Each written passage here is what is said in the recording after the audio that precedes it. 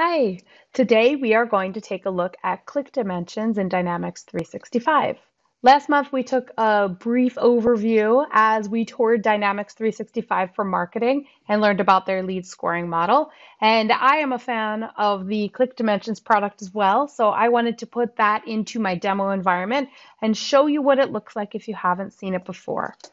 So this is ClickDimensions in my Dynamics 365 environment.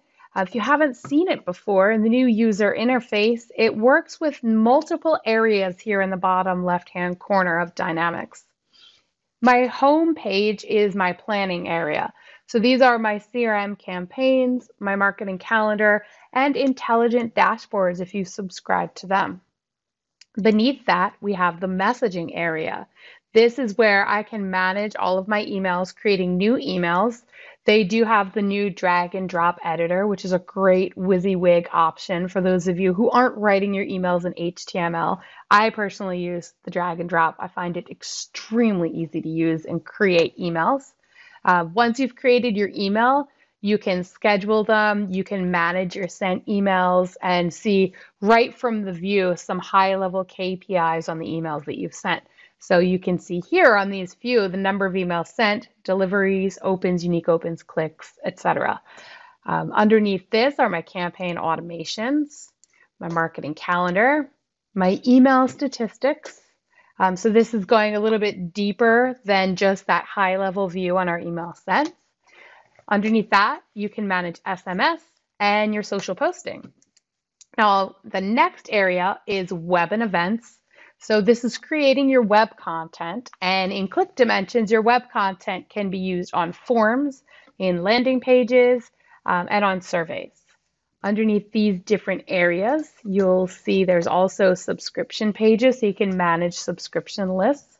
And then web statistics. So this is great for any web traffic that is being monitored either through your messaging that you've created, or if you have it a tracking token on the web pages, that will lead up to this as well. Um, and then finally, you have your event management at the bottom. We've got your library, your audience. So this is defining who is going to receive your marketing. ClickDimensions, like other marketing automation platforms, will run based on the people in your marketing list. It can be dynamic or static, of course. And ClickDimensions allows you to market to contacts, leads, or accounts, which is a little bit different than how Dynamics for Marketing is built. So the final thing I want to talk to you about today is this bottom area here, which is your click dimension settings, specifically lead scoring models. Now, the lead scoring model is extremely simple to configure. You're simply going to click on this score settings area that we saw um, on the left-hand side here, kind of in the center.